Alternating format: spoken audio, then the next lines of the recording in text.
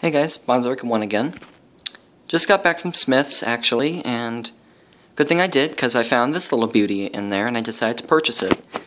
So, looking at the flower here, um, this is a new breed from Westerlay Orchids. It's been out for a little while. It's an orangey yellow flower with these red flame, flamed edges on the side. It's pretty nice, and it's got a nice neon purpley lip.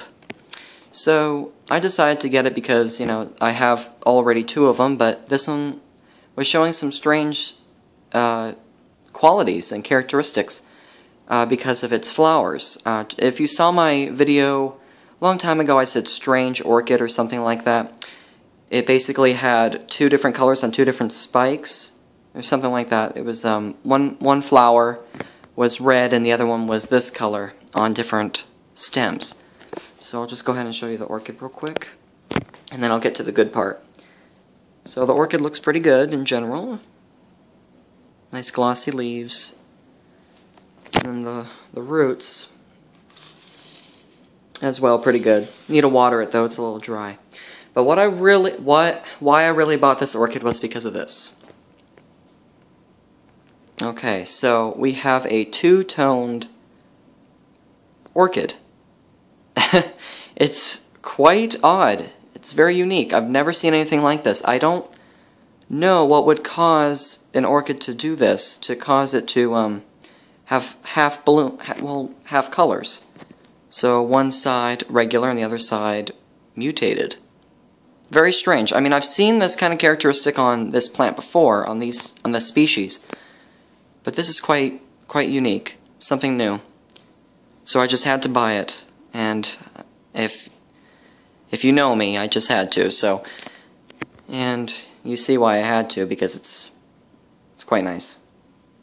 So I don't know if I were to if I were to actually pollinate this thing, if the seeds, um, if it's well lineage or its uh, offspring would actually have this sort of characteristic. I'm not entirely sure, but I thought I'd share it, and I'm probably going to take it into the Orchid Society tomorrow and explain and probably get a get some answers or something out of it because it's pretty unique. I mean, every other flower is fine.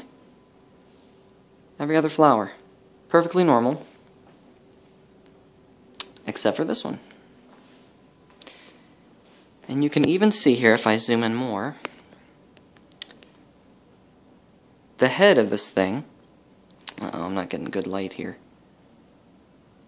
I'll make another video soon, probably tomorrow, so you can see the flower better. But you can see it's even on the head here where the pollen is.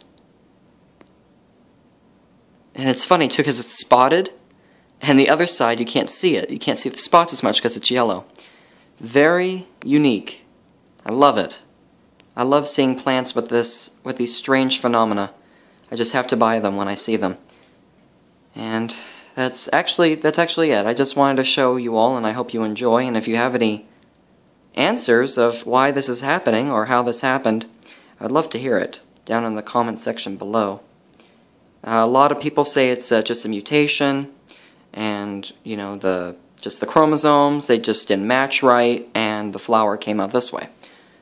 Um, I also think it has something to do with temperature, uh, but that's just me because usually if you expose the flower to a certain temperature at a certain time. It'll start developing that way, and then if you expose it to another temperature, it kind of puts it into shock and it causes this genetic change here. But that's just me. Any other suggestions would be very interesting to hear down below, so leave that in the comment.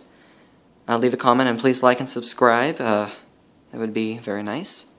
So, this is Bonzorkin1. Thank you very much for watching, and happy growing. I'll see you next time.